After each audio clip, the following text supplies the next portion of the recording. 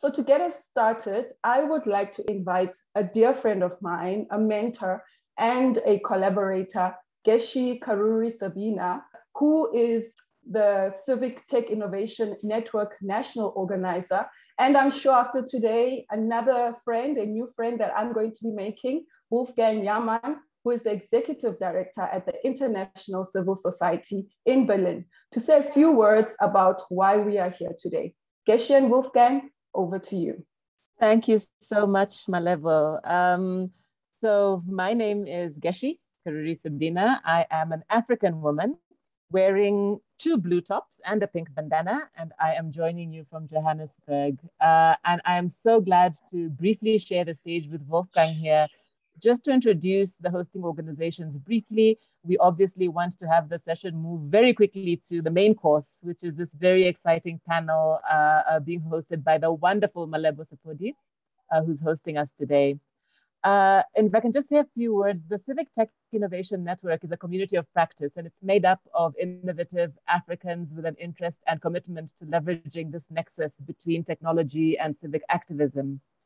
We launched the network in 2017, and our goal has really been to support this growing community um, towards the growth, the development, the effective use of appropriate technologies, digital technologies, and methodologies in public participation and activism, in delivering public services, transparency, accountability, and, and basically connecting government, government to citizens.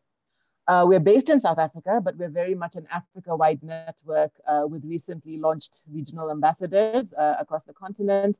Uh, but we also have several international partnerships and collaborations. Uh, and this here is a very good example of it. Uh, we began interacting with ICSC a couple of years ago now, uh, where it was really just about referring and connecting around voices and uh, perspectives and speakers for various events. It's really our pleasure to be, for the first time, organizing this series of digital dialogue events with them uh, uh that will go on uh, throughout the year. Uh, and what we think is we find good value and stakeholder alignment with the ICSC. we have this strong focus on Africa and technology. And I think what the ICSC brings is a much more global community that's very civically grounded uh, and we really look forward to using this platform to invite diverse, grounded, and generative dialogue on ways to share, support, and build upon each other's civic work around the world. So thank you so much for the warm intro, Malebo. Uh, Wolfgang, maybe I can hand over to you.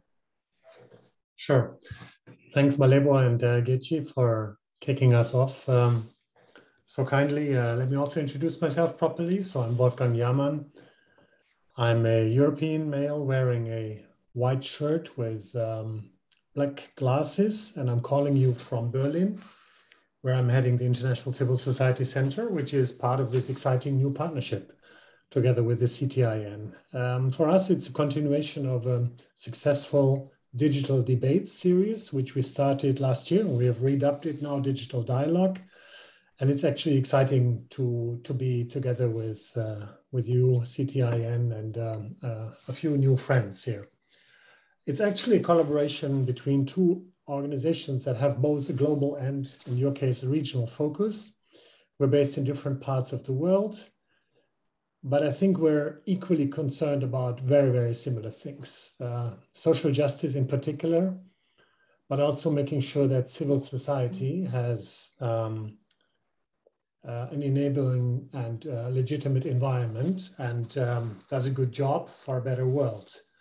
So uh, we're approaching halftime of the Sustainable Development Goals, and that's where the international community has promised to leave no one behind.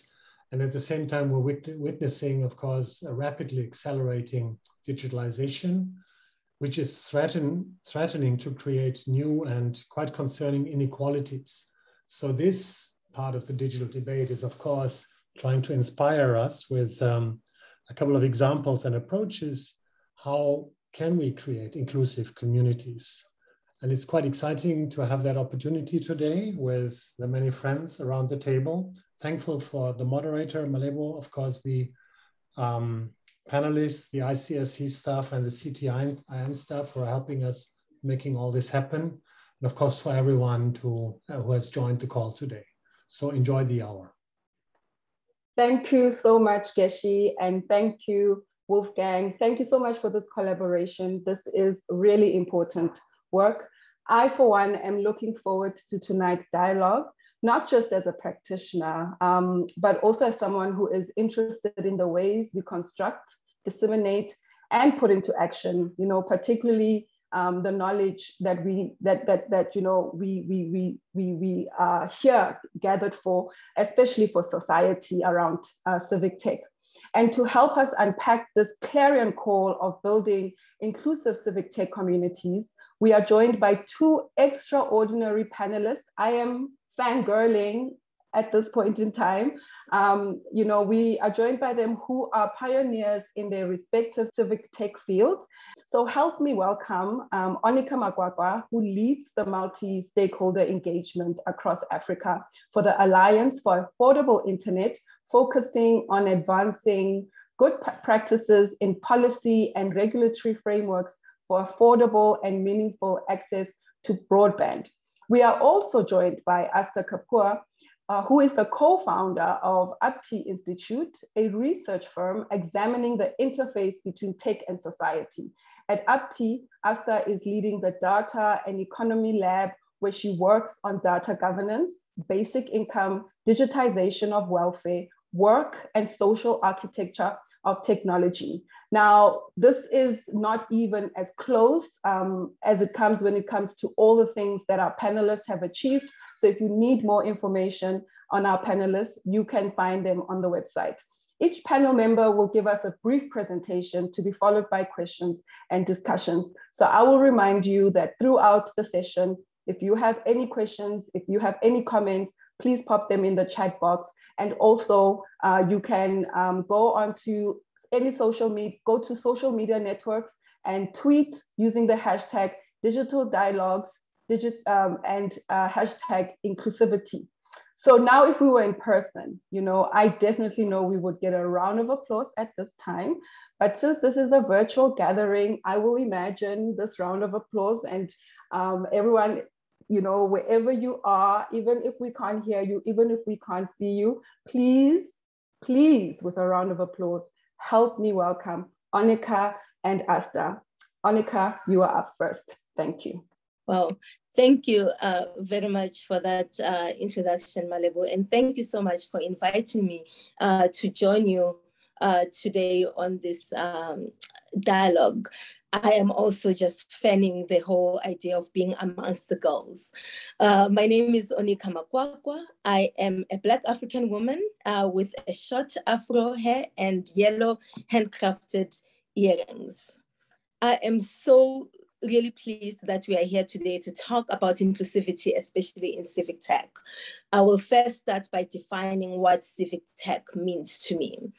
Uh, civic tech to me is really about the access and use of digital technologies uh, for public engagement and for public good.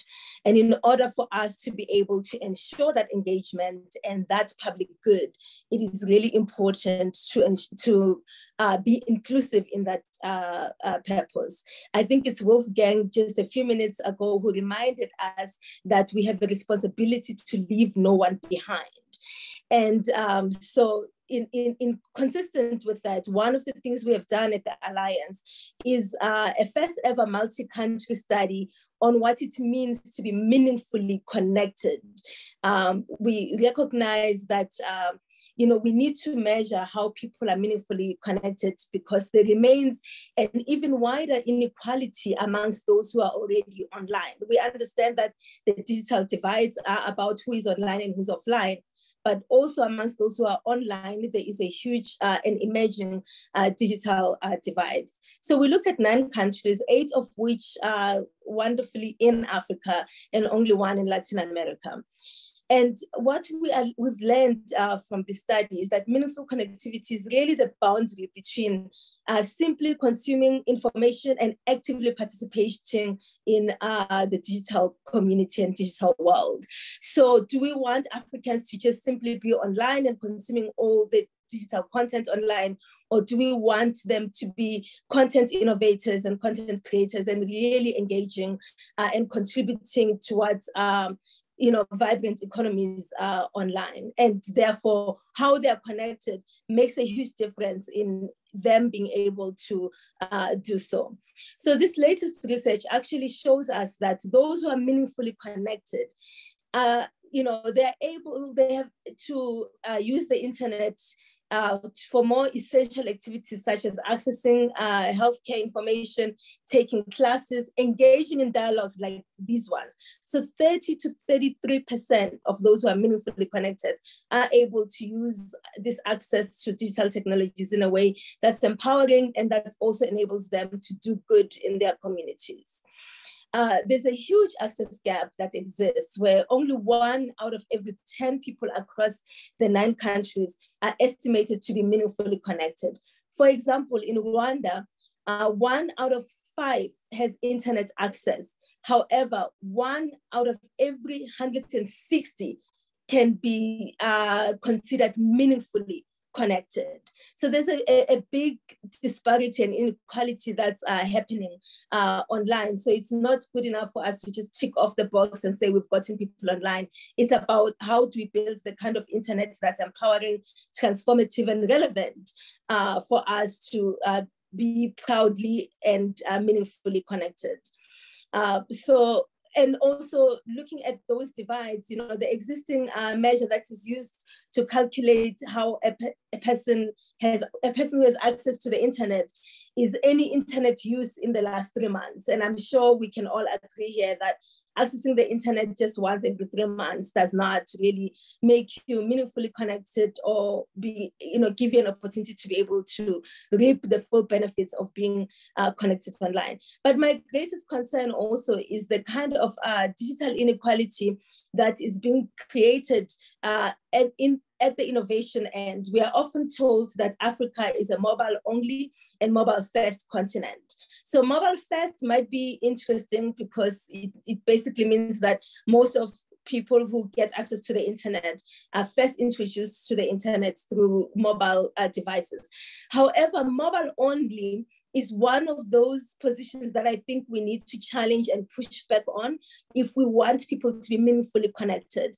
Uh, we need to make sure that um, the people, you know, we are not just connecting people to the internet, but we are connecting people in a meaningful way so that these digital uh, technologies are actually uh, useful uh, for them. So, you know, there were 12% more likely, people who are meaningfully connected are 12% more likely uh, to participate in a way that is more meaningful than those who are just simply uh, connected. And there's a huge cost of this exclusion. We've actually done more research on the cost of gender exclusion in digital technologies that costs uh, governments millions and trillions uh, of, of uh, dollars in, in the economy. And so I will conclude by saying, in addition to seeking and pushing for meaningful connectivity, uh, they, it is really important that we begin to mainstream gender in ICT policies. So we are truly not leaving anyone behind, especially women and girls. Thank you. Thank you so much, Onica, for that. Um, and you know, I have worked with Onica and I have mobilized with Onica before. And I am so grateful for the work that you do. And I'm, I'm glad that you started off with um, talking about what civic tech is.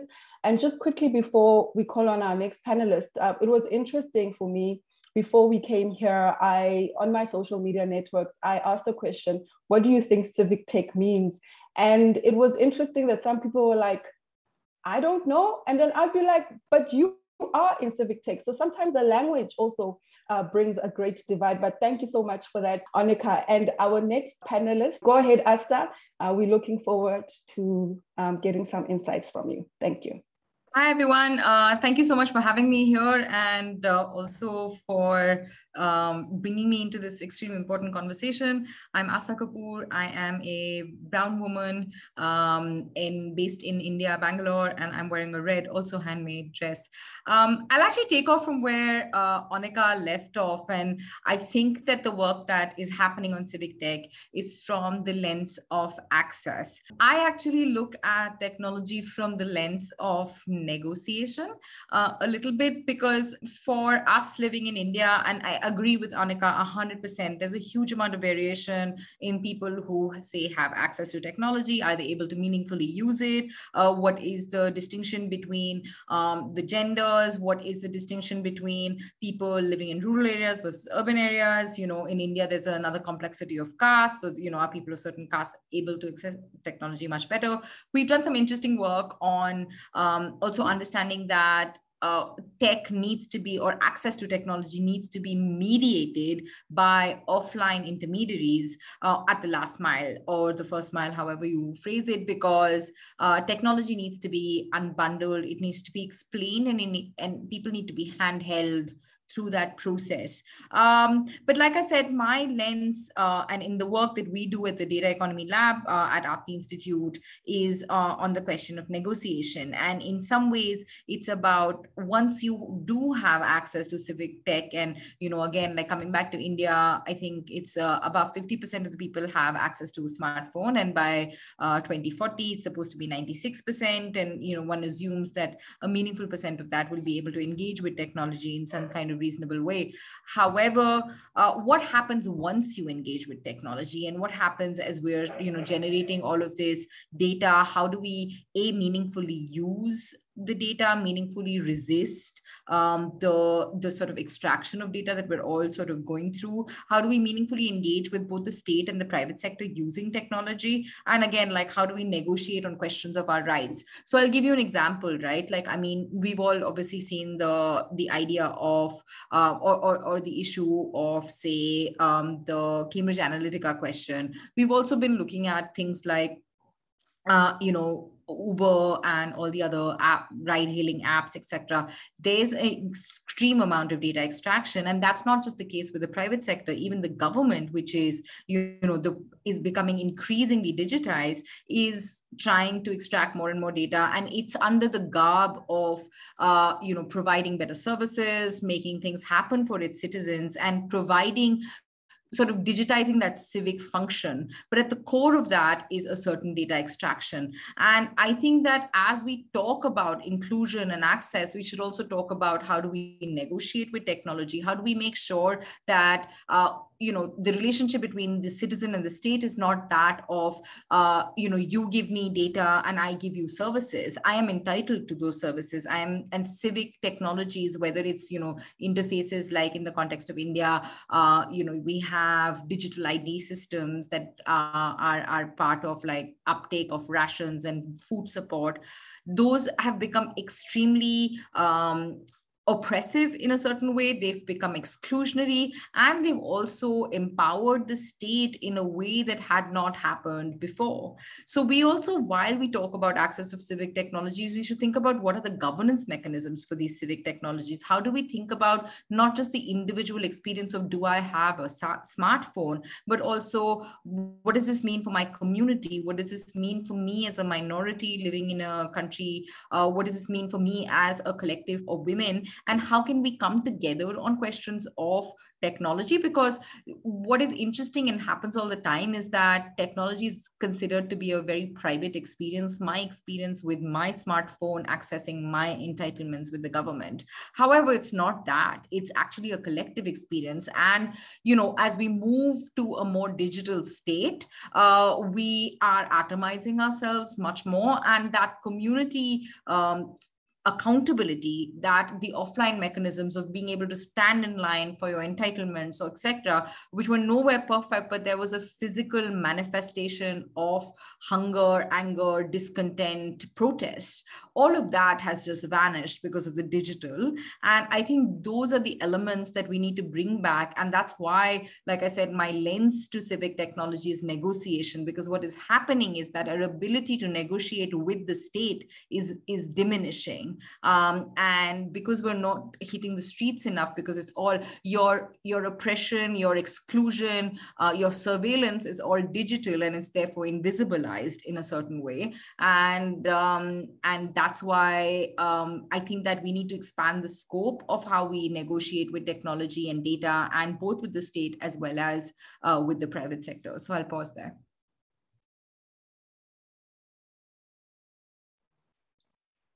Thank you so much, um, Astha, for those notes. Um, it's, I mean, there is such an intersection between you and Annika, and I don't know, Annika, if you want to join us um, at this point.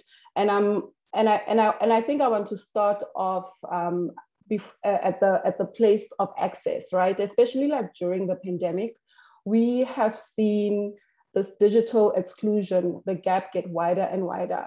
And we have seen how things have played around, out, even in, in societies where you'd, you'd imagine that there would be some access. So, in your respective works, what kind of challenges have you seen and concrete cases that you have interacted with or that you have come across during the pandemic that you think you know these challenges are urgent and we really really need to focus on i'll start with you annika yeah, certainly. So I think for me, uh, you know, in terms of what we saw during uh, COVID, uh, one is an affirmation that access is no longer a luxury, right? It's just, we cannot just leave it to the privileged few uh, to have access, but it's actually a lifeline. Uh, but also it, um, it not only exposed our deep inequalities, but just also how uncoordinated our digital development strategies are. One example is South Africa, where, uh, you know, we were basically all of us kind of following the West in terms of how they were monitoring, tracking, and responding to COVID-19. So the West put out apps for their citizens to monitor. They did e-registration for vaccination, and we did exactly the same. However, what was very ironical was that we had to start our vaccinations with the population of 60 and older. But that is a population that spends up to four hours monthly waiting in a queue for their subsistence allowance from government. A program that could have been digitized a long time ago, but for very uh, specific reasons has not moved in that direction. But somehow we expected this population uh, of 60 and older to be able to e-register, EQ, um, completely different from how they live their, how we expect them to live their everyday lives, right? Hence, we started seeing the delays in the uptake of vaccinations in the beginning because here we are now kind of like you know uh, taking a, a very uh, different approach in terms of how things are done than how we've done all the time. So that for me should really be a lesson. You know, the other one is with schooling. I think there was this assumption that children can learn from home remotely. In fact, I just finished doing a paper uh, on this uh, for one of my human rights courses uh, to look at, you know, should we be looking at internet access as a human right and begin uh, to move in that direction. When you look at the children, uh, the assumption was that parents are digitally literate, uh, that homes are connected, and that teachers are also digitally literate to be able to conduct instruction over the internet. So there were a lot of assumptions uh, that were made that just really did not match with the reality of what we're actually dealing with. But I think that those are all opportunities for us to now begin to build uh, on that, uh, as opposed to, uh, it's a bit frustrating because sometimes I feel like we even talk about 4IR as if it's an event that's coming, you know, but how do we really take these concepts into uh, to begin to innovate for Africa's realities and stop this Uberization of everything. Like, you know, our innovation sort of has this Western gaze for the most part. We want to be the next Uber of Africa, the next Amazon of Africa. The next Amazon of Africa might actually look more like Marabastad or Makola Mall, uh, Makola Market in Accra. So how do we get our innovators to begin to innovate and put Africa's challenges and opportunities at the center of the innovation so that we are not necessarily innovating based on what the West has already done and we want to also have our African version of that. Um, thank you so much. And Astha, do you have anything to add then, particularly on how then do we foster, you know, inclusive platforms or ways that we can get um, civil society involved in dealing with these kind of challenges that we have, um, you know, come across? Yeah i mean maybe i'll give you an example of also what we went through uh, in india during the you know as the vaccines became available is that uh, a lot of governments i think decide that like there should be an app for it uh, because how else would you access vaccines if not through an app? Uh, so of course there was an app for it. It was you know you needed a lot of government id to be able to log in. You needed a phone. Um, so there were all of these hoops of um, of bureaucratic things that people needed to do. Of course along with that layered you know digital literacy access to smartphones. So all of the big questions of access that Anika already spoke about. Um, and and i think that to what ended up happening is that civil society organizations became, like I said, those mediators that would help people log in, uh, get access, um, you know, support people offline. So, like I said, you need these offline intermediaries uh, that can help uh, translate technology that can bridge the gap. Because, you know, like I said, the state assumes that if you digitize something, it still exists. But what that does is that it increases the distance between the citizen and the state. And that distance needs to be bridged. It doesn't automatically happen just because there's an app for it. There needs to be mm-hmm. a lot of labor that's done on the ground to uh, onboard people, to make them aware, and not just make them aware, like I said earlier, like not just make them aware to be like, here's a government app, but like, for instance, in India, we realized that you were logging on to, it was called CoWIN uh, uh, app to access vaccines, but some people were surreptitiously been also given health IDs that we have not consented for. So you don't even know what you're consenting for. Uh, and the government, like I said, is a player in data extraction. So it's not just about um, about you know ensuring that yes, you get access to an entitlement like a vaccine uh, in the middle of a global pandemic, but also that the government should not use this moment to exploit you in ways that you can't even comprehend. And I think that's where civil society comes into play. It's not just to bridge access, but it's also to create frictions in this process of digitization. It's to create um, that noise that echo of things that needs to happen to make sure that we um, as a community are not getting exploited. And so i mean and i'll plug this in but we're working on the idea of these intermediaries both offline and online um, that that that will help us think through our rights uh, both in terms of our entitlements as well as our negotiations and actualize that because some of this needs to be delegated out. And i think that that's where civil society will come into play because we're not equipped to speak the language of technology. We're not equipped to read those consent notifications. Um, and I work on this and I never read them. So um, I think that we need to have civil society play a much, much bigger role uh, in that. Uh, yeah, and I think um, if you if you both could please keep your videos on because we are having a conversation and then we will also include the audience um, just just now so that we can get their questions. And yeah, I mean, talking about this gap is always interesting, right? This gap between policymaking, civil society, and technology. The wider that gap goes, the more distrust, you know, exists within um, civil society. So it's really important for us to find ways, you know, to, to meet at this gap. But while I still have you, um, Astha, I, I, I want to talk a little bit about governance, you know, um, Anika spoke about 4IR, and it's a, you know, it there was a point where it was a frenzy in South Africa, the fourth industrial revolution. We need to be ready for this tech um, revolution. But if you look globally, you see that we are watching um, like an emergence of big tech, you know, like AI, etc. So where do you think the governance is going to be in civic tech in mitigating, you know, the trust that civil society has, but also this efficiency that our countries are chasing in terms of this emergence of big tech.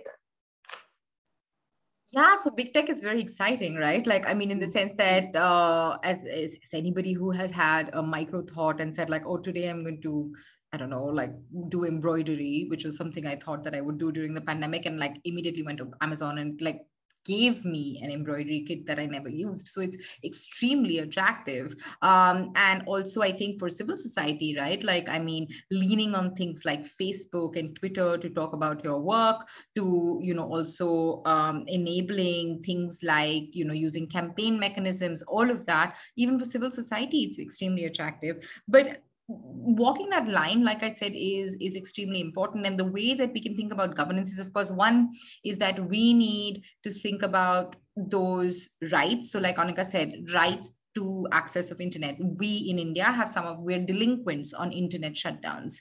Uh, you know you have exams and you don't want students to uh, cheat you shut down the internet now. It's it's absurd when you think about it but uh, this is the response of the state. So you need the lines in the sand to say like you can't shut this down. This is this is something that needs to happen in the supreme court. This is not something that a low level government officer can willy-nilly decide because children might might cheat.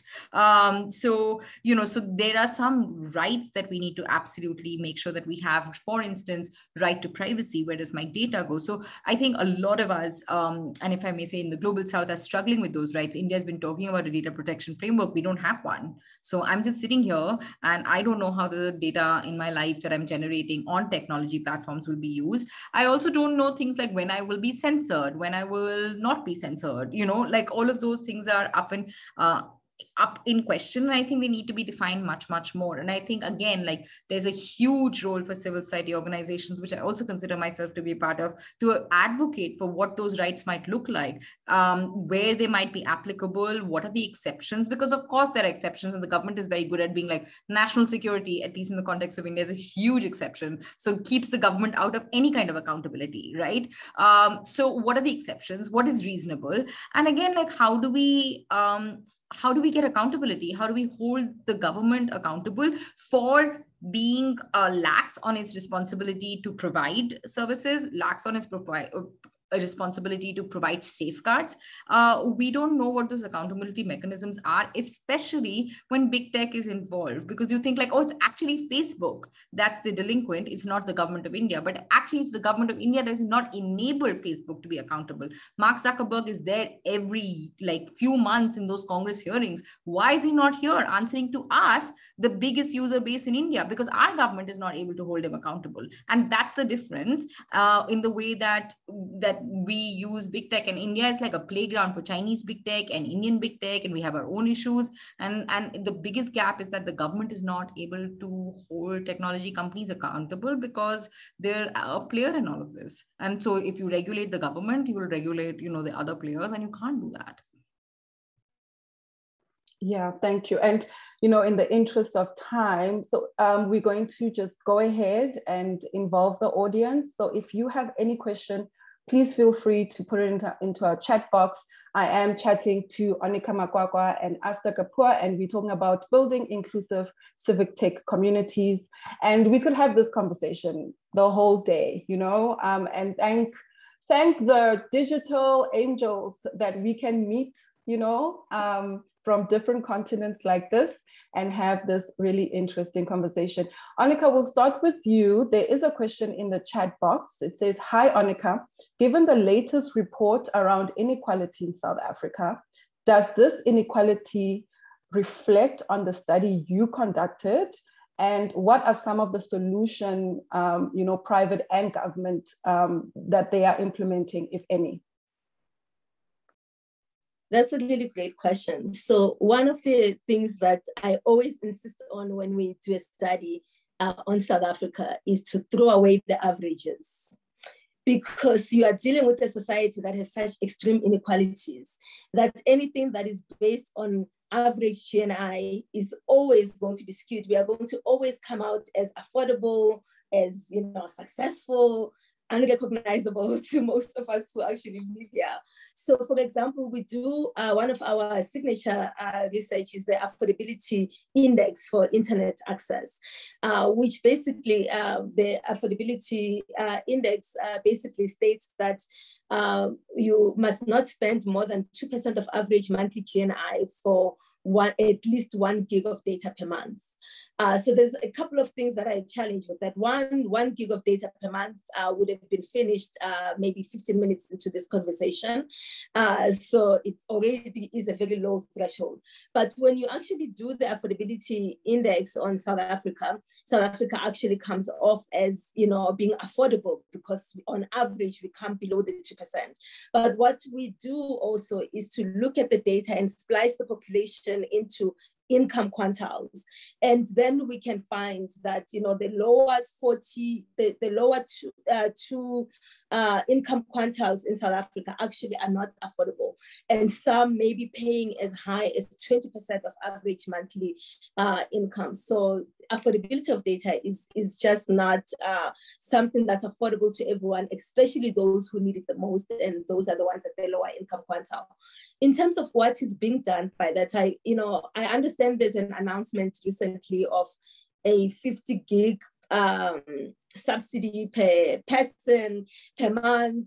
We will see how that works. One of the great things that a lot of African governments do is that we are really good at adopting these positions, writing these documents, uh, but implementation has been really uh, difficult, right? So um, you know, th- there's absolutely no reason why we should not be using some of our universal service and access funds, uh, which are the ones controlled by ICASA in this country, to make sure that there's public uh, access at minimum. So public access would be things like public Wi-Fi in uh, public places like libraries, municipalities, communities, bus stops, malls, uh, schools, um, and keep it open for the community after hours because it's already paid for.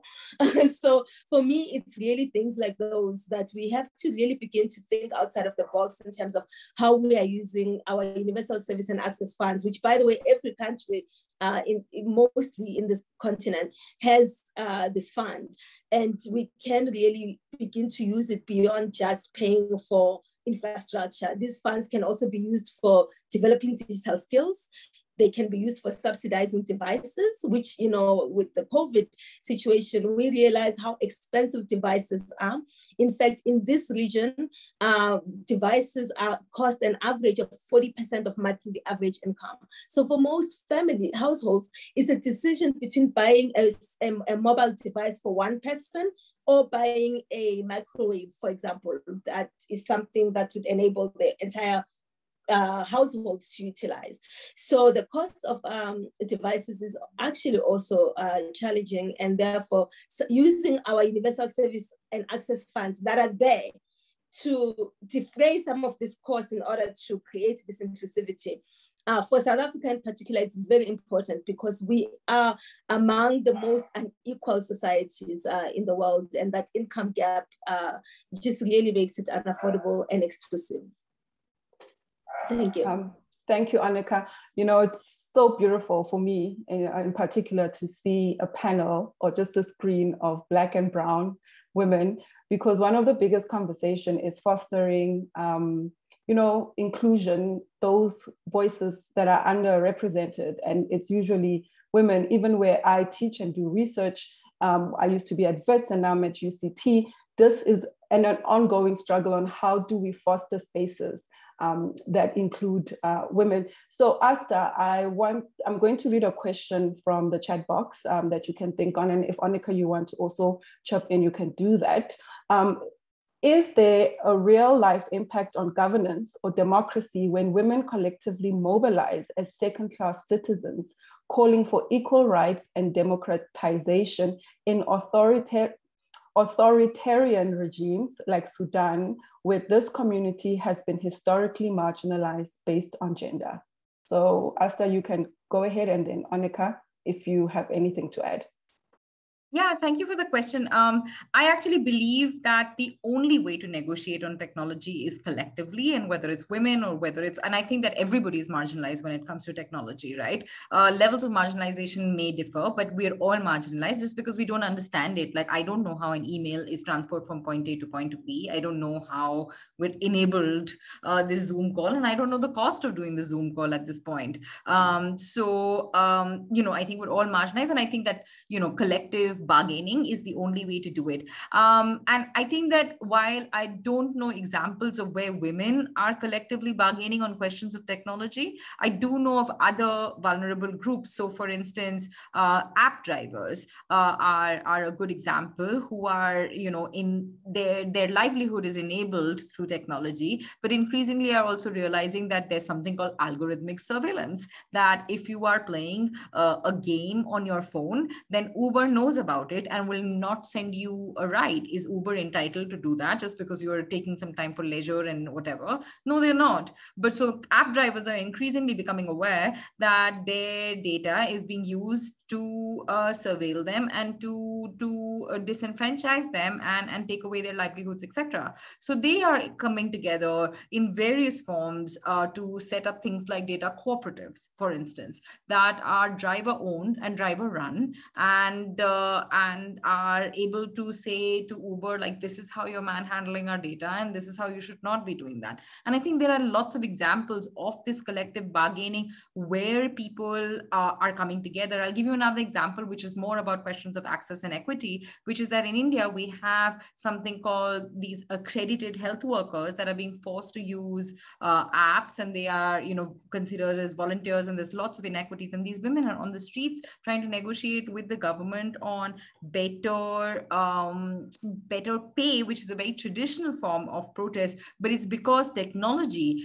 has meant that the pay that they used to get is, is, is, is, is less than it used to be. So there are examples of people coming together at various forms, but I think that we need to think of what those mechanisms are because they can't be traditional in a certain sense. We have to think of new governance mechanisms that enable collectivization online. Because if I'm in a Facebook group, but I'm also doing other things, like is that my community? Is my community a Facebook group? And will that help me negotiate or will it be another thing? And I think that that's what we have to think of more is that what is our community when it comes to uh, technology? And that's not entirely clear.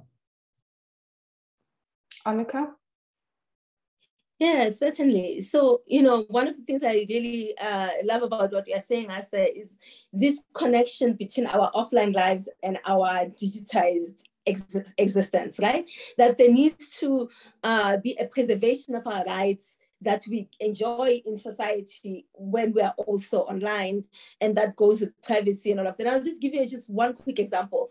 Uh, it is quite common uh, in most hotels when you check in that they take your passport and they photocopy it and then you leave, right? So one of the things I learned to do a long time ago was when I check out to ask them for a copy of my passport because yes, it's it's on paper, it's not the actual passport, but it's a copy of my passport because I don't know after I leave what happens to the passport, who keeps it, who has access to this file.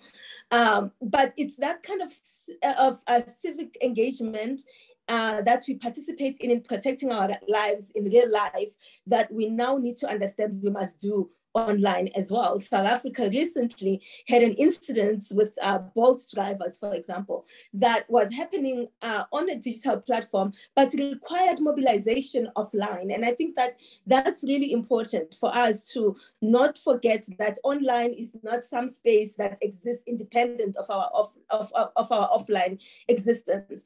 And so one of the best campaigns that I have seen come out of this region, which unfortunately um, probably needs to come back again is a campaign called Fast Africa, which is about access to a fast, affordable, safe, and transparent internet. That safe and transparency is really important now. A lot of the, even the data privacy laws that we are adopting, uh, we're adopting either because POPI Act is catching up with us. Uh, so they're really coming from elsewhere, and we are just kind of finding ourselves needing to uh, embrace them. But also, we have not developed the kind of legislation uh, and law enforcement to make sure that uh, we are safe, right? And, and we're not even talking about online violence against women, which is a whole other uh, area of uh, civic tech and policy development that uh, really urgently needs attention. Thank you. Thank you. And in the words of Wolfgang, and I think you, Onica, also echoed of um, no one is left behind, but also in you know the whole idea of do no harm. I think when we do think about tech and we think of it of, of its value um, in terms of what what does it drive, especially in in societies like ours. So I'm going to read another question, it, and and it, it can be posed to any of you. It says, my question is, how do we make the technology developers mostly in the private sector, especially when they're thinking about efficiency, responsible given the growing use of technology by the authoritarian regimes against civic space. Um, Astha?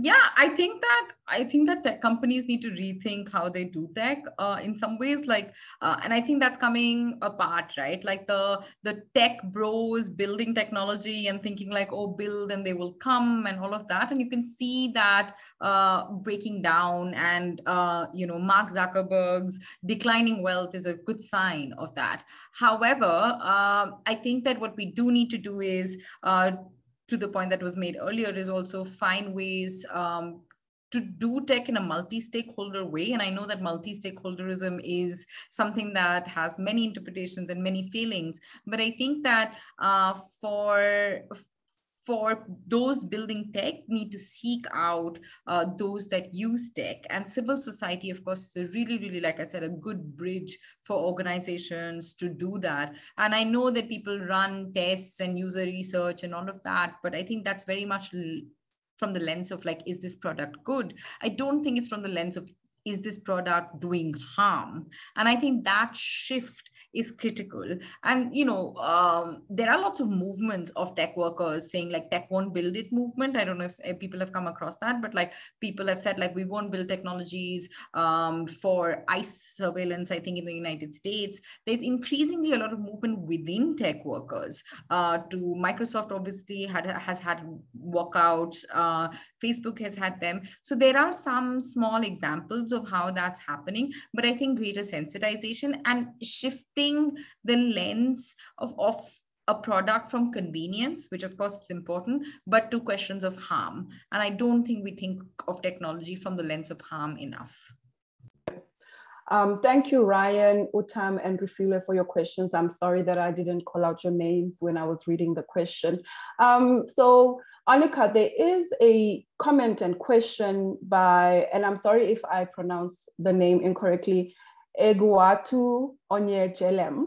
Um, in the in the in the in the um, chat box in the comment box. I don't know if you want to speak on it. It is a little bit lengthy, um, but it is available for, for you to read then and speak on it. But while Onica reads that, um, on your last point, Astha, there is a question that say, is there space for the metaverse in civic tech or within civil society?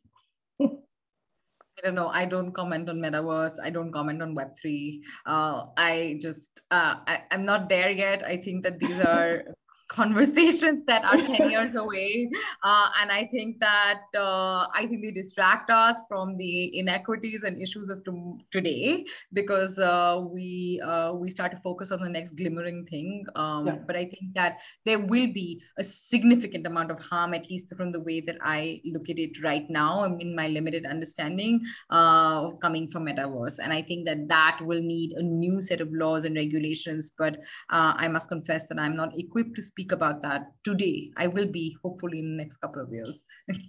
yeah, it's also interesting in, um, you know, with our students in the different institutions that I've worked at at the moment, like a lot of the students want to research or do their dissertations in the metaverse. And it's just so interesting. Uh, but another conversation for another day. Onica, do you want to address the comment that's that's in the box? Yes, certainly. So Ebuatu, and thank you so much for that uh, very detailed and you know giving us a, really good picture uh, of that. And and I totally agree with uh, your comments uh, with regards to also the need to also develop legislation, right? So policies, great, you know, implementation seems to be a struggle, but legislation uh, as well. And more specifically around the issue of devices, I think um, one of the bigger challenges uh, for us with devices is that um, I don't know who's been around when we were promised that Africa was going to get a $10 phone. Like, I'm still waiting for it. Uh, but part of the challenge is that we come up with these slogan type goals, right? That we're going to get a $10 phone for Africa, but we don't actually really map out what that looks like. Uh, does that look like um, a company that you know is actually based in Africa? Does that look like negotiating mm. with the current uh, developers of devices so that we have some level of, of, of, assembly that's done locally? So, for example, I've always said that uh, there is no reason for all of these phones to arrive here fully packaged with even the software already installed there's an opportunity to create a market locally for local assembly of some of those parts, including content, um, you know, uh, like software uh, installation in those. Because what that does is that it helps us build, retool uh, our workforce uh, in, in the region, but it also could help drive uh, the cost down. But the conversation that happens between government and private sector right now around devices is predominantly around reducing device uh, import duty which I do support. However, there needs to also be something that private sector offers the region as well in order for that uh, to happen. So there needs to be this win-win. And I think I, I really like uh, the challenge around engaging civil society because I think a, there's a trust deficit that exists between civil society and government, between civil society and private sector and between government and private sector as well, especially uh, in technology uh, development. And that uh, the multi-stakeholder approach would actually really um, help us to bring some of these issues to the table so that we don't end up with in initiatives that um, you know, are started without consultation and end up not being successful, then they're abandoned. When uh, and, and, and I'll just give you a more concrete example. Digital uh, centers uh, in, in, in, in a lot of countries they, where they've decided to build digital centers in the rural areas. And then they find out people are not going. Well, some of the reasons people don't go is because you built it in an area where it's unsafe for women to travel, where there's no consistent electricity. But if you had engaged civil society in that region, you would have been able to get uh, their input into that. So, you know, I think uh, uh, NGOs have this slogan, nothing for us without us. So making sure that we are engaging the communities that we are building for uh, in all of that. But absolutely legislation, I think, is really where we need to be moving towards, especially around this issue of taxation, because while we talk about big tech, there's also a lot of taxes that are now being imposed on consumers, uh, VAT, uh, VAT, on airtime, SIM card registration tax, communication service tax. Meanwhile, governments, most governments have not figured out a way to actually tax big tech companies that are operating in the region and therefore missing a huge opportunity for revenue while uh, overtaxing uh, digital consumers who are already quite stretched. Thank you so much. And in the interest of time, I do wish that we can go mm. on, but the conversation doesn't end here. Um, you know the hashtags to use, uh, hashtag digital dialogues, hashtag inclusivity. Let's continue the conversation. Thank you so much, Astha and Onica. In just one minute each, one minute each. Close it, not two, one minute each. Um, even half if you can do it. Just your closing comments um, before we before we, we say goodbye to everyone. Astha. Yeah, I think uh, to make technology access more meaningful, I think that we need to do the old school organize, mobilize, agitate, uh, and, and see where that takes us. Thank you. Onica? Uh, we have a moral obligation to leave no one behind.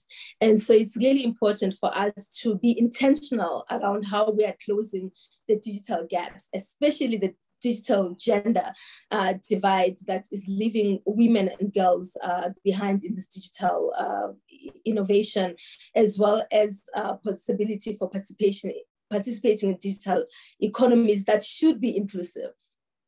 Thank you. Um, thank you so much. What a great way to end off. And I am really excited. This has been a great first installment of the Digital Dialogues uh, series. And thank you so much to the collaboration between Civic Tech Innovation Network and the International Civil Society Center for just coming together and uh, putting this together. It has been really riveting. And I know that one of the things that I'm taking away from this is that the community constantly needs to be at the center.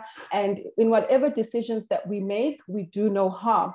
And one of the things that I have realized as well is that civic tech goes way back. And many times, because of the language, because of the exclusion, and because when we think of technology, you know, we think of this thing that there are many, many uh, civil societies that are mobilizing, that are involved in civic tech, and we need to talk about the ideas of access and how do we foster, you know, how do we become part of governance? How do we foster uh, policies? How do we foster legislation that puts the community in the center. And um, I'm really excited to announce that we will be having our next conversation on, uh, in, uh, happening on the 7th of April, and it will be hosted by Bob Iverson. And um, the topic uh, for that session will be how can international CSOs help or hinder grassroots tech innovation? Really, really interesting conversation that will actually help us. How then do we form networks, you know, south to south, you know, those are the languages that are used, but networks that help us, you know, support uh, one another in this feat. Thank you so much, Astha. Thank you so much, Onica, um, for joining me. And thank you everyone who has been working in the background to make this a really, really successful dialogue. It's been my pleasure. And from Chile, Johannesburg, bye-bye.